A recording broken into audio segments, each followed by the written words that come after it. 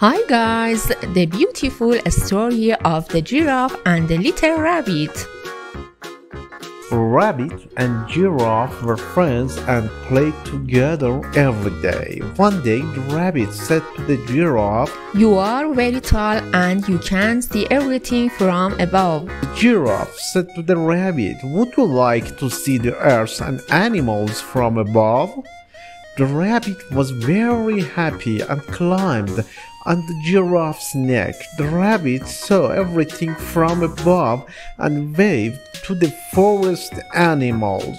Subscribe to Dr. Puzzle channel and introduce the channel to your friends.